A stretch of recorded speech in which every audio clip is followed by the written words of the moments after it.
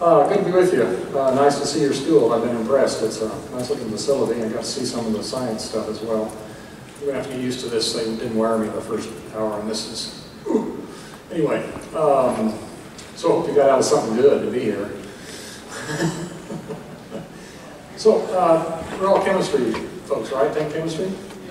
And I understand that you've been through a nuclear science, uh, nuclear chemistry section by now, so all this might make some sense hopefully, I was, we were saying in the first hour, you know, that you start talking about a new discipline and it's, it's the vocabulary other people use in other disciplines. I think that's the hardest part of learning a new discipline. And if you don't know the terms, it just really is tough. I, I talk to bio, um, biological science chemists all the time. Fascinating work. I don't understand anything they're talking about. Every time they say a sentence, they got about three words I never understood. Um, so, so you've had some nuclear background. Uh, I, I, asked the first hour, let's try again. So the first thing that comes to mind when you hear the word nuclear? Boom, explosions, yeah. Anything else comes to mind when you say the word nuclear? I'm sorry, up to radiation. Radiation, all right. Not necessarily good either, but could be. We're going to talk a little bit about today about reactors, two different kinds, to kind of contrast and compare research reactors and the power reactors, and some of the things we do with them, why they're important to us. So to start out with, um, what is a reactor? A reactor, of course, is a, is a nuclear phenomenon where we are, at least in today's world, uh, splitting atoms and draining them apart and getting from that getting energy and because sustaining a chain reaction. But in addition to that, they, they both have these in, that in common, but there are two kinds of reactors in general, those used for research like the University of Missouri Research Reactor, which I'm going to talk about, and those used for power, like our Missouri Callaway Nuclear Power Plant. What's, what's Callaway's purpose in life? What's it do? What's it make? Callaway Nuclear Power Plant, outside of, outside of Fulton Middle State. What's it there for? Power generation, and specifically what kind of power? Electrical, thank you. Yeah, its purpose is to make electricity, isn't it? And as a in the process of making electricity, they're running a nuclear power plant, which means they get into radiation and waste and all kinds of stuff they'd rather not deal with. But that's just part of the byproduct of making energy that way. Research reactors, on the other hand, don't make energy for useful purposes. They're not big enough for starters. Look at the comparison up there in terms of um, values and quantities. Um, a research reactor Missouri is the largest in the United States, but it's only 10 megawatts compared to 3,000 plus for Callaway. So in a research reactor, what we're interested in really is the radiation, or really what it is, it's a neutron source. It makes neutrons, we use those neutrons for lots of different purposes. And we actually throw away our energy. So Callaway's making electricity and sort of, quote, throwing away the radiation part of it, and we're doing just the opposite of a research reactor. This is the basic process. I think you've probably seen this before in nuclear chemistry. You take some heavy atom, and nucleus, like a, a uranium-235 atom. You put a neutron into it, you make it unstable, and literally splits into two pieces. In that process, it gives off energy thanks to Einstein equals mc squared, which is still just crazy, isn't it? Think about it. I mean, what you have is you have some, you have that fissile isotope over there, and you weigh it, and it gets so much mass. Then you get the pieces on the right-hand side, the fission products, and you weigh it, and it weighs less. And you can't just make things disappear on you, so where does that mass go? Well, you stick that mass into Einstein's little equation, it comes out being energy. You know, yeah, I just turned a solid object into pure energy. How's that work? It's amazing. Anyway, that's the process. And then when you split that atom apart, new, new neutrons are given off, two or three of them, and those are the neutrons that will split the next one, and of course that's the chain reaction. So let's talk about the research reactor first of all. There we are in the middle of, uh, well, Columbia. We're south of campus, if you're up there. We're just kind of downhill from the football stadium. It's that blue building in the middle. And that blue building is our containment building.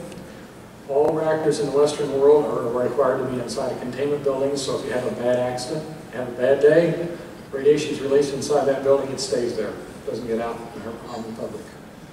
And we do require that of all of our research reactors and our power reactors in the Western world. Uh, you've probably heard of Chernobyl. Bad accident in Ukraine. And part of the problem with Chernobyl was the fact no containment building. It was in a bunker building.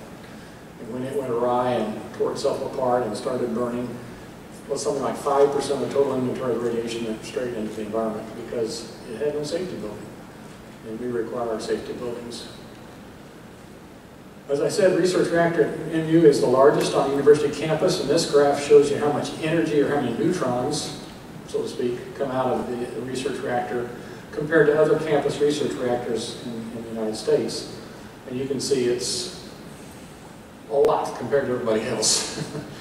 you know, that, that second-rate institution there, MIT, eh, has a reactor as well, and they produce about a third of many, as much power and neutrons as we do at the, at the research reactor here. So it's really a unique facility. It's kind of amazing that something of that capability is existing right here in the middle of our state. Um, and the other reactors that are listed out there, and somewhere out there is, is the research reactor at Rolla, is one of the small ones. Not, I don't think it's listed, I think it's on down the list a little bit. I, uh, but uh, don't think that's, that's good and bad. Um, the research reactor at MU and MIT and a couple, two, three of the top ones there are basically little factories um, in terms of making things on purpose and having a commercial uh, arm and that sort of thing. And the other small ones over there are typically training reactors. So for example, if you want to become a nuclear engineering student and you really want to get your hands on, you could roll and play with that research reactor and you can literally get to control it in the control room. They'll teach students how to control the reactor. At the MURR, we're in production use more. We have operators, 20 of them that run our reactor all the time. We don't really get to put our hands on it specifically to run it. So they kind of have different purposes. They're, neither one's good or bad. Ours is more for research and production. The smaller ones are more for training. Depends on what you're looking for. Uh, let's build it up. There's a fuel assembly. It's actually about 24 inches tall, long, and you know, cross section, something, something like that, probably softball size. Uh, it's made up of plates, which have uranium sandwiched between aluminum uh, cladding, we call it, and gaps down between those curved, 24 curved plates where the water can flow through and take away the heat and energy that happens. So inside those plates, uranium is splitting, neutrons are coming out of those plates, causing more uranium diffusion and so on. Um, the core is on the, I'm jumping up there pretty soon for some things, but I don't need to do it all the time. The core, you can see where it says on the right-hand uh, column, it says fuel zone. That's the fuel assemblies are actually in a circle about 13 inches across and 24 inches tall. And uh, that forms the core. Um, we say it's small compared to power reactors, but in terms of, I guess we'll get up there. When you think about 10 million watts of power coming out of a tank that's that big around by that tall, that's a lot of energy. If we could turn all that energy into electricity, which you can't do, but if you could, we had energy equivalents, that would light 100,000 100 watt bulbs coming out of a tank that big. That's why nuclear is so concentrated. An example. So anyway, so this is looking down, straight down on top of the reactor, and the, the pie-shaped elements are these things right here, and there are eight of them in a circle. And as you might imagine, the really hot spots right in the middle where most of the neutrons are. And so we can put samples inside this center pipe and let the neutrons from the reaction irradiate those, and we'll talk about what that's for. The reactor is also surrounded by graphite, this ring right here, and all these holes represent sample positions where we can stuff stuff in so as neutrons leak out of the system, they can irradiate samples. We have beam tubes, where neutrons come down just a pipe, kind of like a flashlight beam of neutrons. And the physics community uses that for uh, what they call neutron scattering. They can tell you how far apart two atoms are in a big complex molecule, all sorts of good stuff I don't really understand, but that's the, beam, the uh, neutron scattering uh, part of this reactor. Then we have one pneumatic tube system, which is shown over here, P-tube. It's like when you go to the bank to get your check cashed, you know, and you put it in a little container and it's sucked off to the teller and comes back, hopefully with money in it. Uh, we do the same thing, except we can radiate samples with that P-tube system. We have little, what we call rabbits, they're little polyethylene vials about so long, inch in diameter, put a sample in there, put it in this machine, it sucks it off and puts it in the reactor for a few minutes to get it radiated and brings it back. So you have to walk in the door every time you want to radiate something. So that's kind of what it looks like. So uh, the research reactor at MU uh, just gets involved in all kinds of stuff. Um, You're probably thinking, oh, I've got a research reactor on campus, well, that's where the geeky nuclear engineers hang out, and that's probably about it. And some campuses tend to be like that. Many reactors, uh, research reactors on university campuses belong to nuclear engineering programs and are used primarily for research or for teaching of nuclear engineering students. Ours are a little bit different from the standpoint that it, it belongs to the whole campus, and that's been good from the standpoint of all this interdisciplinary work going on. So there's a bunch of you know possible uh, people that collaborate the reactor, and you see things like archaeometry. You know, what are archaeometrists doing with research reactors? Well, it turns out they can use the reactor to do trace element analysis to understand uh, the composition of, say, obsidian arrowheads so that if they find an arrowhead in mid-Missouri, which they do from time to time, and they can trace it back to where it came from. And some of those come from Central America, so they can understand how societies work with each other. So you get all kinds of different programs involved, and this is just another chart that kind of says the same sort of thing. Obviously, the nuclear engineering science people are down here in the bottom right-hand corner, but you see things like archaeometry and uh, veterinary medicine, and radiology, and chemistry, of course. We have the largest, this in the first hour, we have the largest radiochemistry program, uh, academic program uh, in the United States at MU. Uh, these are chemistry students. Uh, it's a graduate degree, typically leading to a PhD, but it's in radiochemistry. Uh, there aren't very many of them around in the world, and uh, the one of them is at MU, and it's one of the larger programs. So this is a list of some of the isotopes we produce routinely at the reactor, and these literally go around the world. We, uh, a lot of these isotopes are uh, very short-lived, especially the medical ones. You've learned about half-life, right? Okay. These have half-lives, all the medical ones have half-lives on the order of days to weeks. And so we need to be making them all the time and have to ship them uh, many times by jet aircraft to get them where they need to go. A lot of them, for example, are going to Europe right now for medical studies and that sort of thing. And you have to do it quickly because, again, if you waste your time, they're going to decay away and won't have anything. So just an example, let me just go down the list and kind of pull some out. We won't have time to talk about them. But the first two, of course, are gold isotopes, 198, 199. Those are used in the nanoparticle uh, cancer therapy work. That's in the research stage.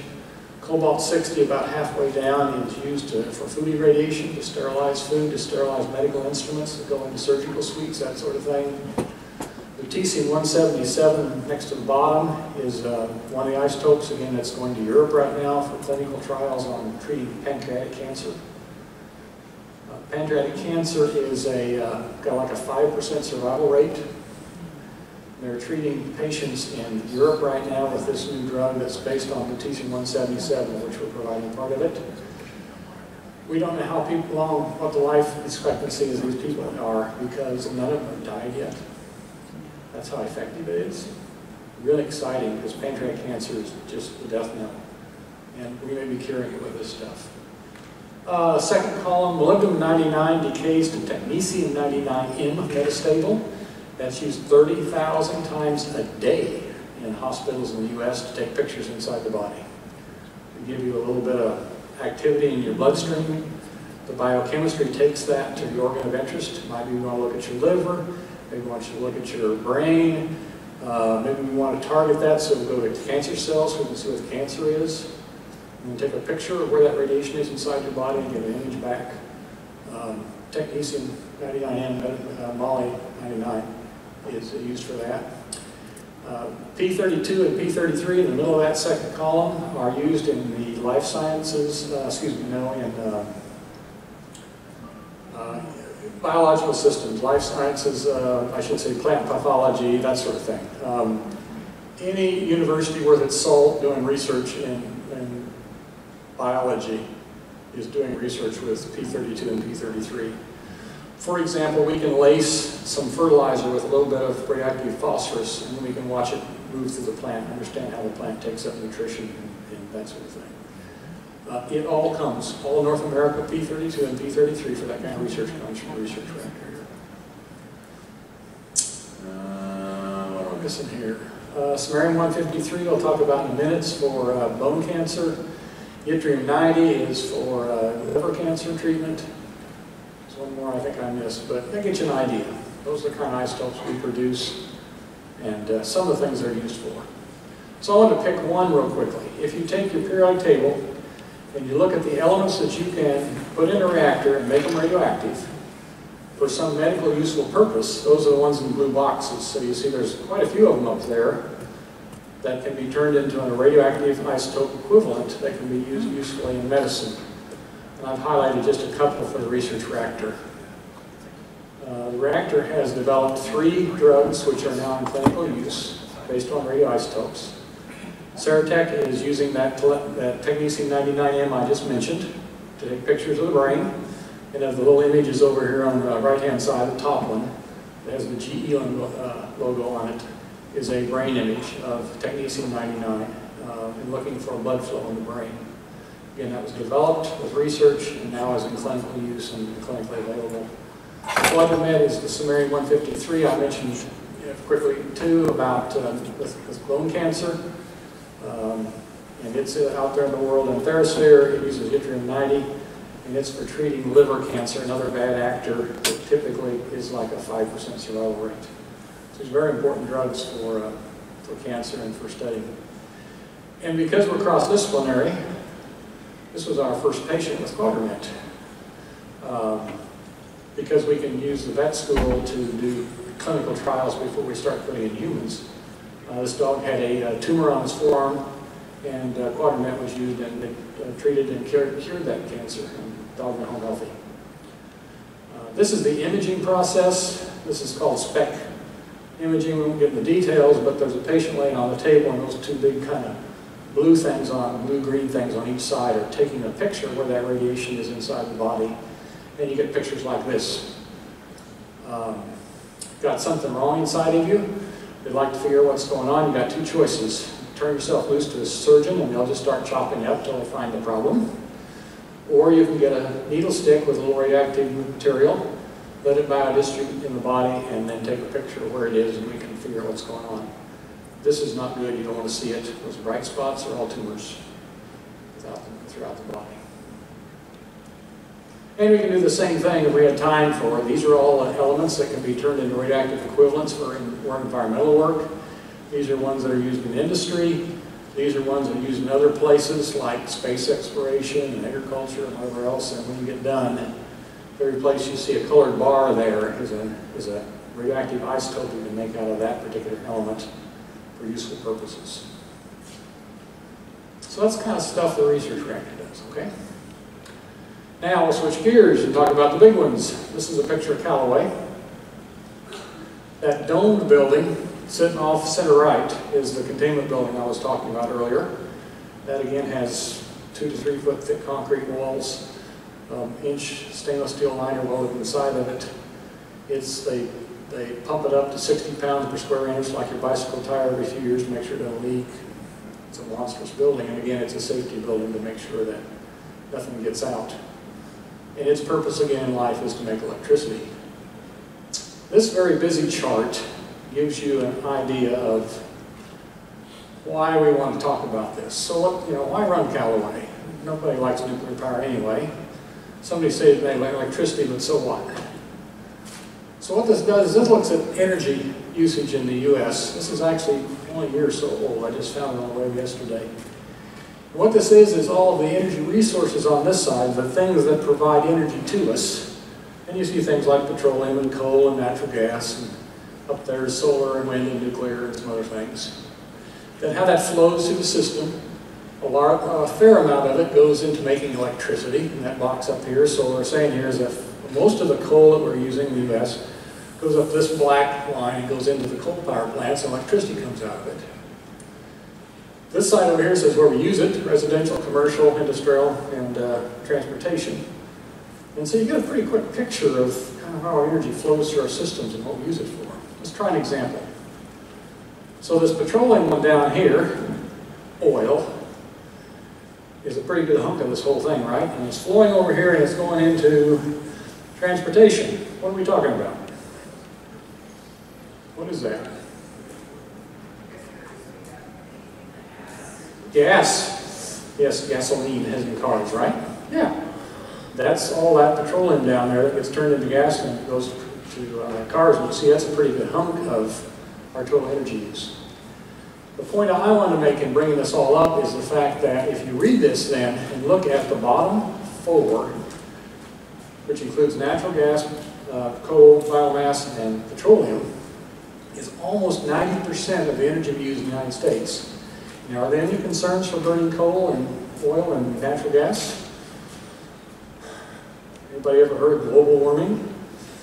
Yeah, yeah, yeah. So that's what we're talking about here, right? Okay? When you burn fossil fuels, you're emitting CO2, which there's concern for the fact that maybe increasing our CO2 uh, concentrations enough that we're causing global warming and you know, ice melting and you know, water levels rising and all that good stuff.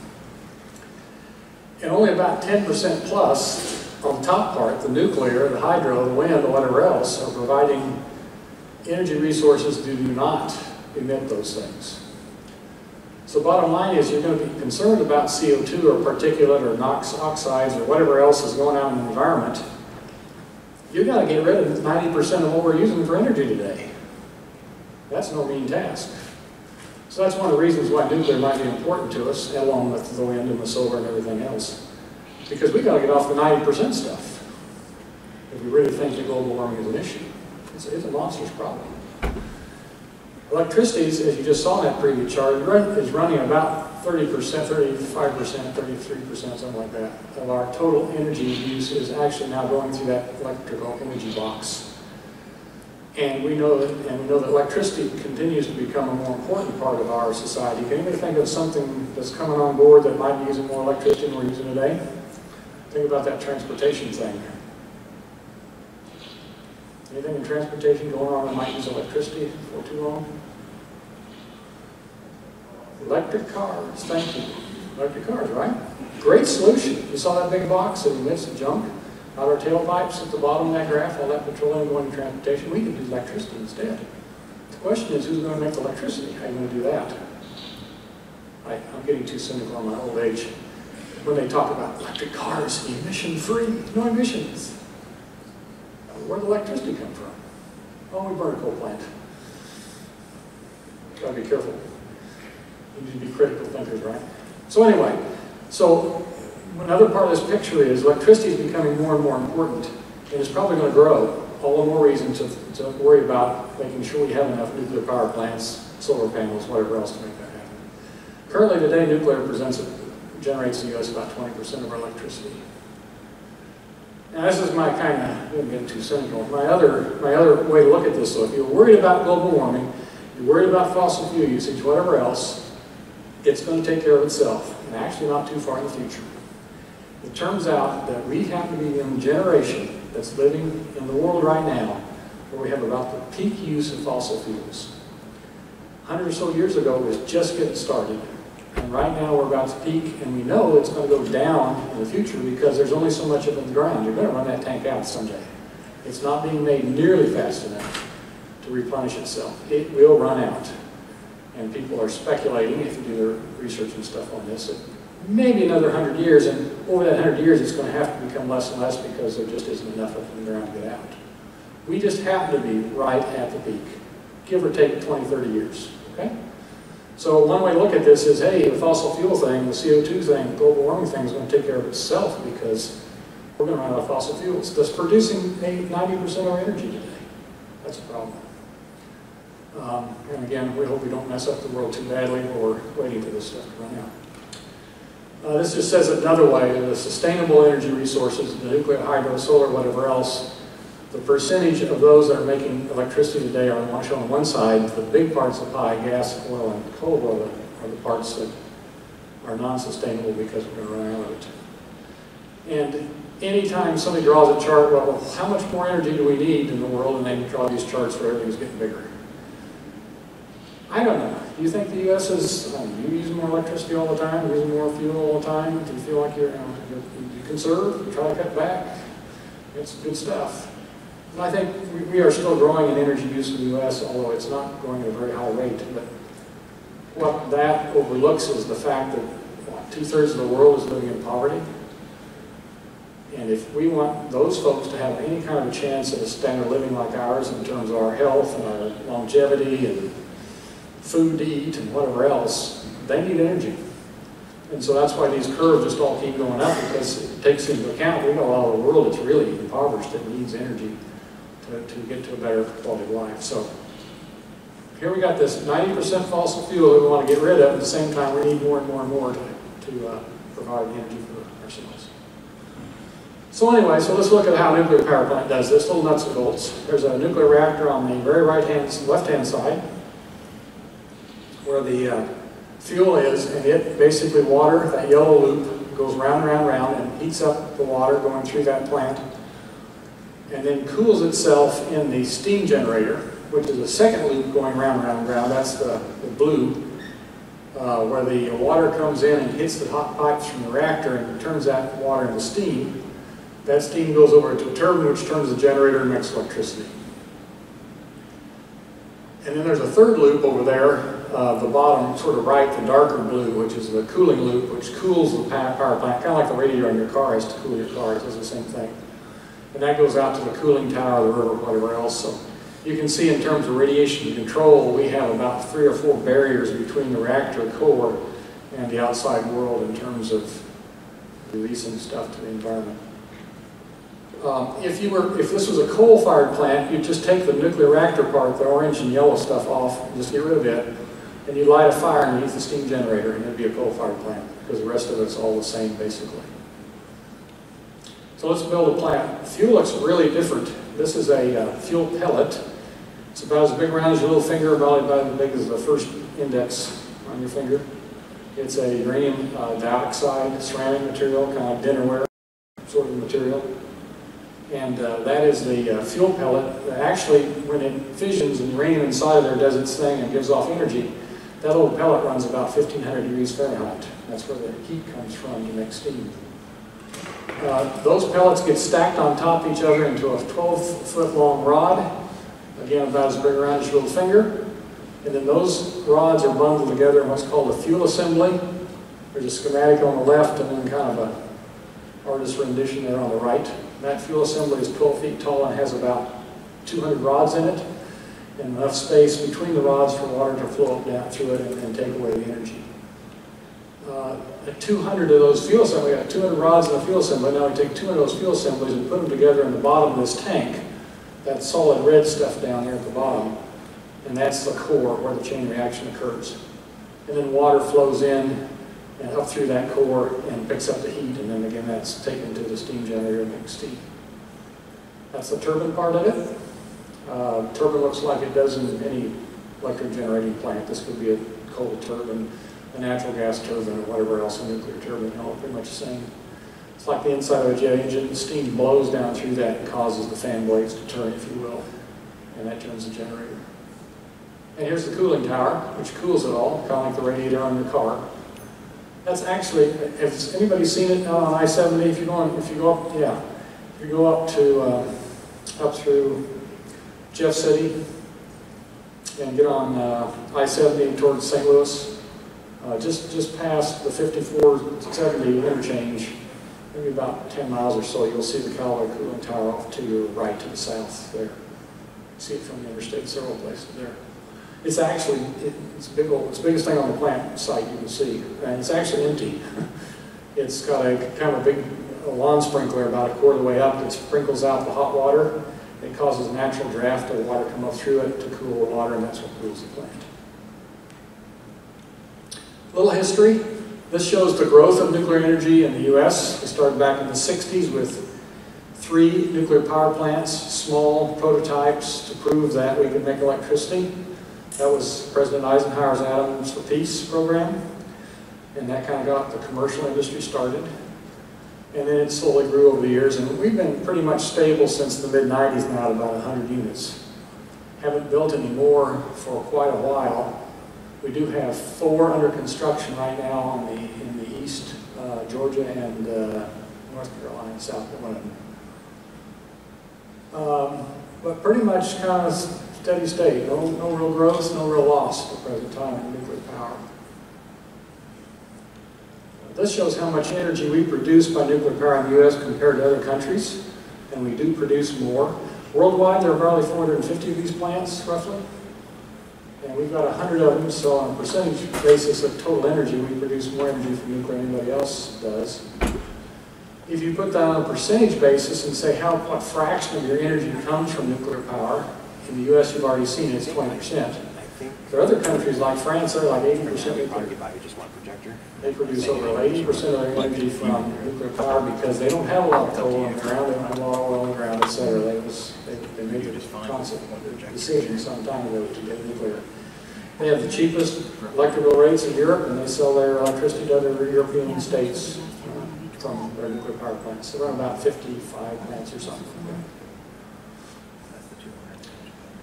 Uh, we kind of covered this already. It's another way of saying the same thing.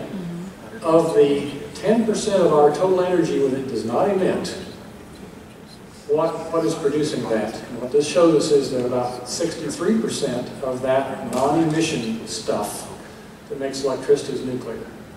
And then hydroelectric's about 20%, and then all the rest of them, solar, wind, et cetera, is the other. We hear an awful lot about solar and wind and all that, and it's coming on and it's helping us. Um, but the fact of the matter is it's a small piece of a small piece at the present time. It's still a long way to go to help us out. And that brings me to the capacity factors. A little bit on my nuclear soapbox. I got to promote the, the science, right? um, this shows capacity factors. This is the fraction of time that a plant is available to produce energy. And this is important when we look at things like solar and wind. I do not want to knock those at all. It's not only all above solutions, we need all the different energy resources we can get our hands on, and solar and wind are part of those. I just want to make sure everybody understands when you say you're going to do that, that you realize the fact that it just isn't there all the time. Obviously, the sun sets at night. I like to watch TV in the evening. If the sun sets and that's my source of power, guess what? I'm going to watch TV because I have electricity.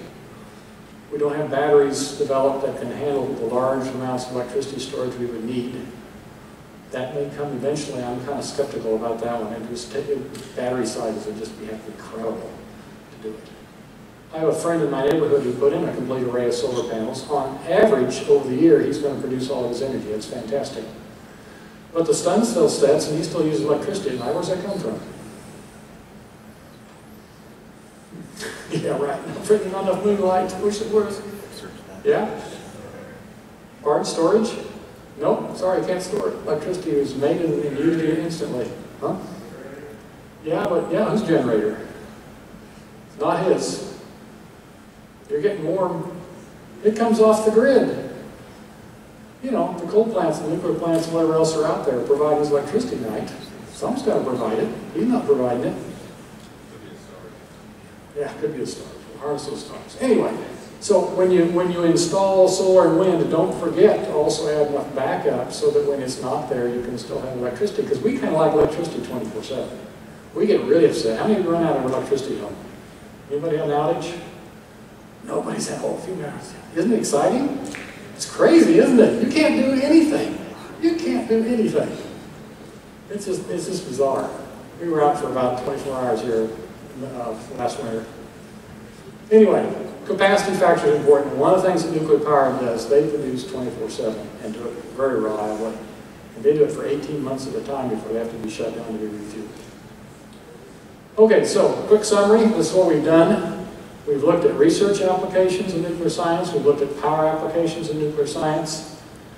If I had another hour, we'd go through all the stuff at the bottom. These are all the fun, other fun things we do with nuclear and radiation science food irradiation and, and, air sterilization of instruments that go into uh, surgeries are done with radiation.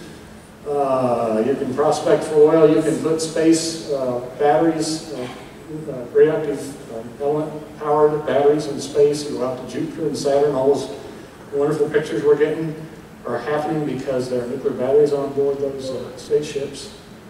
Um, on and on and on, all sorts of good stuff in addition to what we covered today. With that, how are we doing on time? Got time for a few questions? Four minutes. Four minutes, four minutes. Okay, who's got a question? Yes, sir. Yours, number two. Yeah. Not in the quantities we need. You'd be surprised how many batteries you take in your basement to just get you through the night. Yeah, we just don't have any way to store it. About the closest thing we have is what they call pump storage. What we do is we use a little excess electricity to pump water uphill, and then we let it come back down through a dam when we need it. That's about the only way we really know to, to store the kinds of quantities of electricity we need to like mention you. Yes, sir. Um, oh gosh, now that's an embarrassing question. As a nuclear engineer, I should because the nuclear industry said, yeah, we can, we can solve this problem, whatever else. Um, something's going on out there. I, I will say this. We're at about 360 or so parts per million of CO2 in the environment, and it looks like the rate we're going might get to about 400. There were times in ancient, in the early times of the Earth, it was like 4,000. The Earth survived with 4,000 parts per million of CO2. Now, the Earth was completely different. That was back to the dinosaurs. And vegetation was growing everywhere, and uh, this is a whole different world. And I don't know if we could survive in that world, but we do know that the Earth has survived with very large concentrations of CO2 compared to what it is today. That's where I have to give a little pause, I guess, I'll put it that way. Good question. Yes, sir. Yes, ma'am. Sorry. What's the cleanest way to get energy? Well, I would put those non, those, those sustainable ones in there. I, would- I mean, I would include nuclear. Uh, people are worried about the radiation, but the fact of the matter, no one in the U.S. has ever been harmed from a nuclear power plant. Zero, absolutely zero. You can't say that about any other industry. And then uh, solar and wind obviously have the potential to do that. Uh, solar cells do require some kind of noxious chemicals to make them, but we can control that. It's not a big deal. Who knows? And the hydroelectric, I don't call it hydroelectric. You've got to cover up the, somebody's ground when you want to put in another, another uh, lake or dam.